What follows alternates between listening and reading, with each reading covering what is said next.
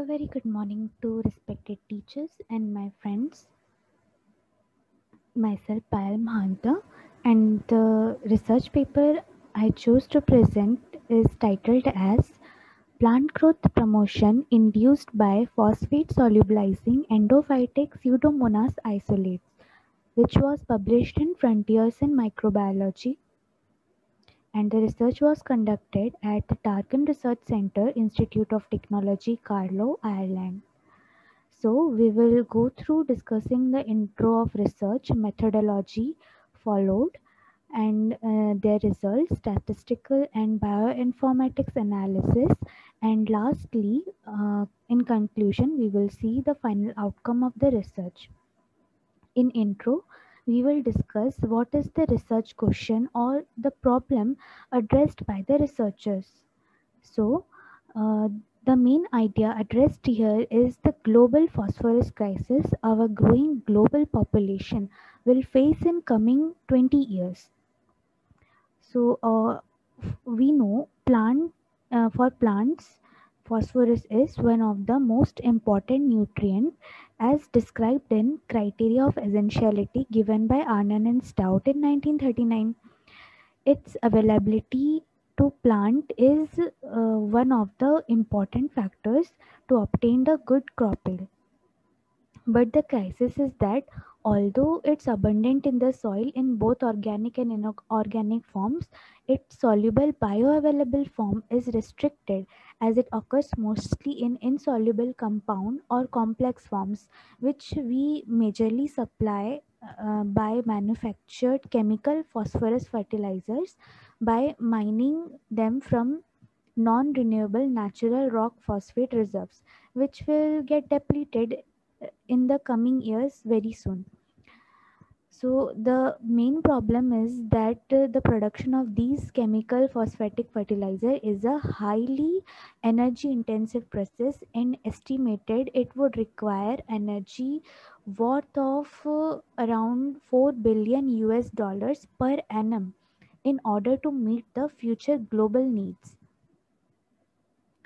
so, uh, the situation is uh, further compounded by the fact that almost 80 to 90% of added phosphatic fertilizer is precipitated by metal ion complexes present in the soil, and only 10 to 20% of it is utilized by the plants.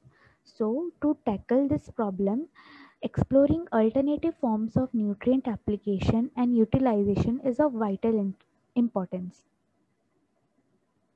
Therefore, the researchers hypothesized the following points in their research which can alleviate the problem.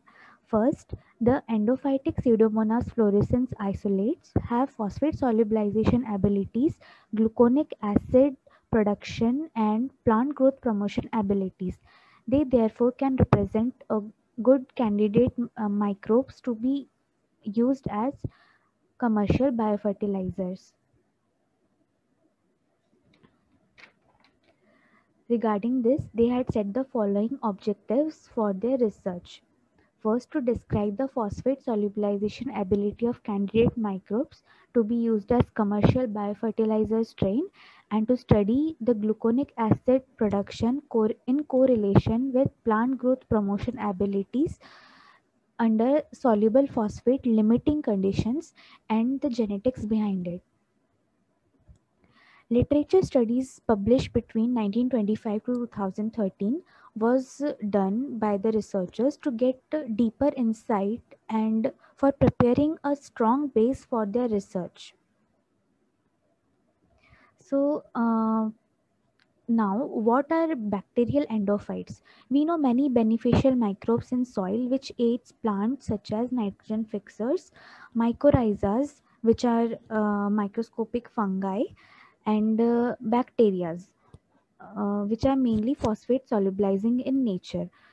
Uh, but these endophyte bacterias uh, are called endophytes because they reside inside the plant tissues and also are reported to provide some biotic and abiotic stress tolerance and hence promote plant growth. To study this property in the isolated candidate Pseudomonas endophytic bacteria, Uh, the following methodology is followed, uh, of which an overview is given in this slide. So, in the first experimental setup, uh, the researchers perform phosphorus solubilization assay and uh, determine the gluconic acid in the culture medium.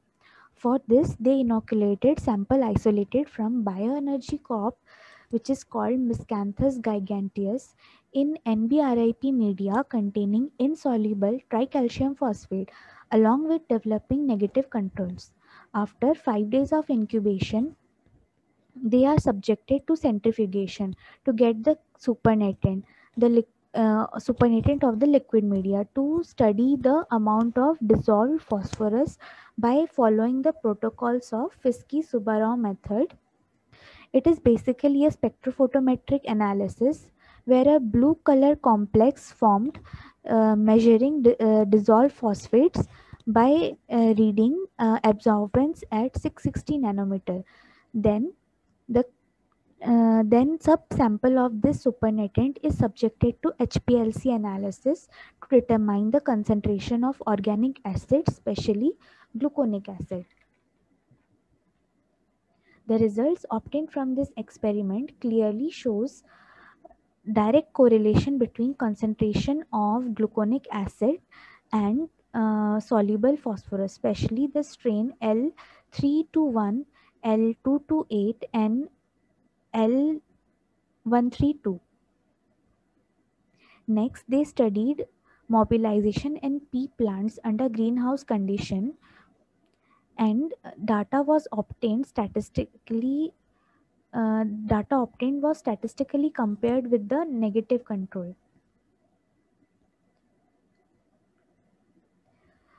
In uh, for genetic analysis uh, of uh, the bacterias, uh, they performed a phylogenetic analysis in which uh, in which three endophytic Pseudomonas fluorescens strains L228, L321, and L111 possess, uh, possess a full PQQ operon with, uh, with the genes uh, the genes present in those operons of bacteria are reported in about 40% of PQQ producing bacterial species, of which all have the ability to dissolve the insoluble phosphorus. The table here represents the graph plotted for statistical analysis of phosphorus mobilization and here 1.44 fold increase is shown against uh, the negative control for uh, root and shoot dry weight of the plant and the whole plant dry weight. Finally, in conclusion, the research highlights the following out- outcome. Higher the concentration of uh, gluconic acid, higher will be the concentration of solu- soluble phosphorus. Therefore, acidification seemed to be the main strategy utilized by these strains for solubilizing phosphate. Plants treated with endophytic uh, Pseudomonas fluorescens strain have increased plant dry weight and fresh weight. Therefore, the hypothesis comes out to be true and uh, uh, so the strains represent good candidate microbes which can be used as commercial biofertilizers and thus alleviate the burden of phosphorus crisis here is the citation to the paper i referred and any questions are welcome. Uh, thank you